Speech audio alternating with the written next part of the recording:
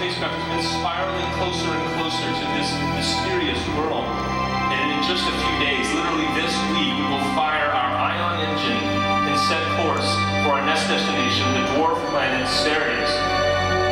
But even further out, Cassini is darting between Saturn and its moons, returning a ceaseless stream of astonishing discoveries.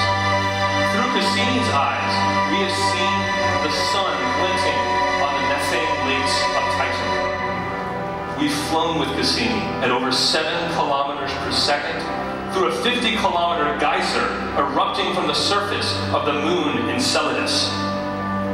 And in just a few more years, we're going to wrench this spacecraft into one more daredevil maneuver and thread the needle between Saturn and its rings. This is happening right now. And there are still so many more places that we need to go, even in our own neighborhood. Near Jupiter, Europa awaits.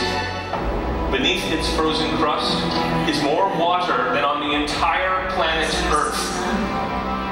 We must attempt a landing here. And when we do, when our robotic avatar arrives, you will stand on that desolate landscape. You will look up and see Jupiter overhead and then descend with us through the frozen crust to the ocean underneath. You will look with us onto a world that even our most powerful telescopes have never seen. But we're not going to stop there. You will swim in those waters.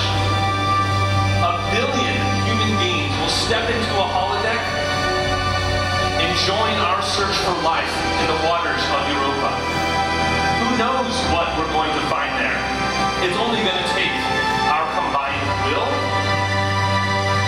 our curiosity to answer that question. So, where are we going? This is what we saw. When we pointed the Hubble Space Telescope at what looked like an empty and black patch of sky. Every star, every dot, every smudge you see is an entire galaxy.